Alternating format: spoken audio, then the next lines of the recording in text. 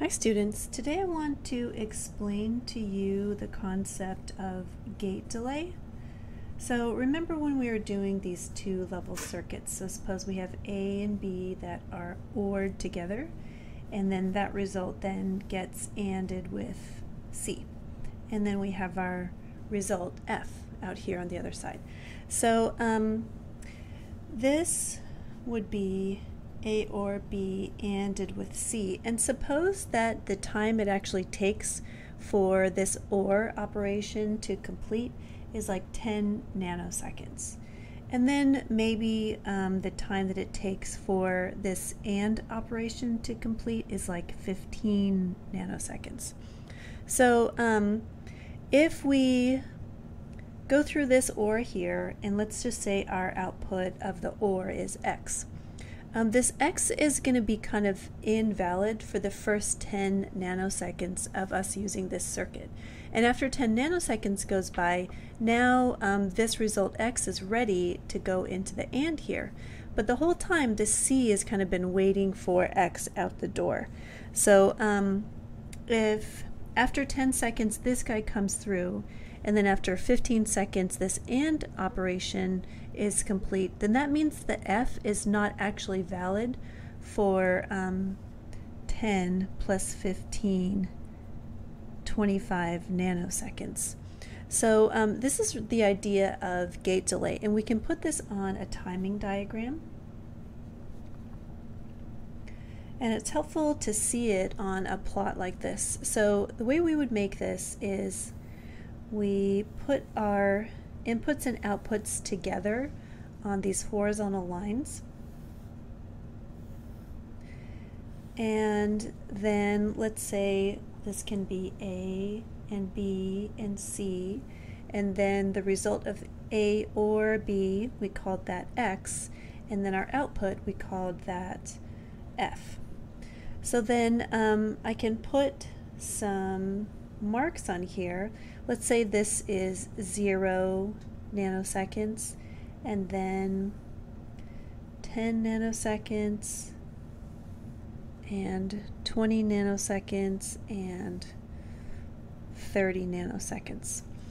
Okay, so here are my um, time labels. Now, um, suppose when we first use this circuit, we have an input of um, 1, 1, 1. So initially we say that our inputs are 0, 0, 0, 0, and then at time equals 0, suppose they all go to 1. So now we're going to have a 1 coming in on A, and we're going to have a 1 coming in on B, and we'll have a 1 coming in on C. So here are 1s, and the 1s are coming into the circuit there. Okay, so um, we have 1 and 1 coming into this OR gate, and the result that comes out comes out on X. So since 1 or 1 is equal to 1, then after 10 nanoseconds we can have this result coming out on X. But the question is, what is on X before 10 nanoseconds? And the answer is um, this is going to be invalid. Okay, so we can't trust this as a reliable output because um, this hasn't yet evaluated to something. So there might be a value here that's stored from a previous state of the circuit that is untrustable. So it might read 0 or 1 based on what the previous state of the circuit was, but um, the actual state at the time that we want, we're going to have to wait 10 nanoseconds from the time that we put in the inputs that we desire for our circuit. So then um, at 10 nanoseconds, now this guy is ready to go into the AND. And um, this thing from 10 nanoseconds is going to need 15 nanoseconds after that in order to produce a valid output on F. So that means that F here is, oh no, that's 10 plus 15 puts us at 25 nanoseconds right there. So then F is going to have a valid output here of 1 after 25 nanoseconds.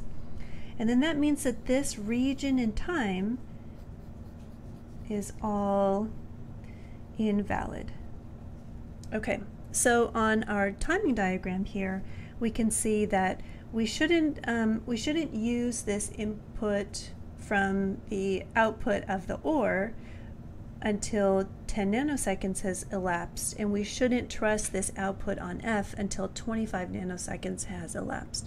So this is the idea of um, gate delay in our combinational circuits. And um, also, this is the first time you've seen the timing diagram, and this is going to be helpful as we start studying sequential circuits. Let me know if you have any questions.